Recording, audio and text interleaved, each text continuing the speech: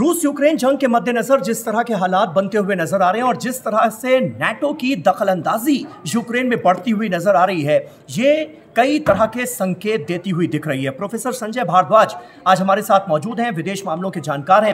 Professor Sanjay, जिस बात का आपने थोड़ी देर पहले टीवी नाइन भारतवर्ष के शो में ज़िक्र किया कि यूक्रेन हाथ से निकलने वाला है, इसका क्या मतलब है? किसके हाथ से निकलने वाला है? किसके पास जाने वाला है? देखिए इस जंक्चर पर नाटो चीफ का यूक्रेन विज़िट कई चिंताएँ कई तरीके के कैलकुलेशंस बता दिखाता है हम्म। पहली बात कि देखिए कि कोई भी कंट्री अगर वॉर में है कॉन्फ्लिक्ट में है तो हम्म। दो तीन बातें साफ़ होती है कि कंट्री एक तो फ्रंटियर बनाता है हम्म। और एक बफर जोन बनाता है अब रशिया ने क्या किया है कि पिछले 2014 से मान लीजिए पहले क्रीमिया। अब डोनबास रीजन को और बेलारूस उनके साथ है। तो हम्म। एक तरीके से एक बफर जोन और एक एक एक फ्रंटियर बन गया है। हम्म। अब सवाल क्या है कि बागबुत की लड़ाई के बाद अगला जो टारगेट बनता है वो कीव बनता है और कीव अगर खत्म हो जाता है तो कहाँ पहुँच गया वो? वॉर पहुँच गया बिल्कुल एकदम नाट्रो कंट्री के बॉर्डर बिल्कुल, बिल्कुल। और ये एक चिंता बताता है। तो जो